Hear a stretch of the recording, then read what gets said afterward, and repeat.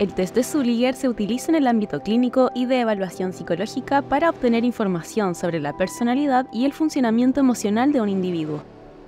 Capacítate para su uso en el curso Test de Sulliger, aplicación, tabulación y confección de informes, junto a la psicóloga Jennifer Araya, donde podrás aprender sobre la aplicación y tabulación del test.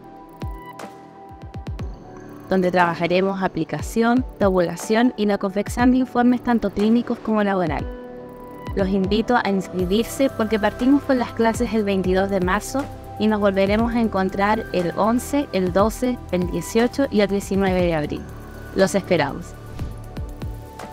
Te esperamos en clases.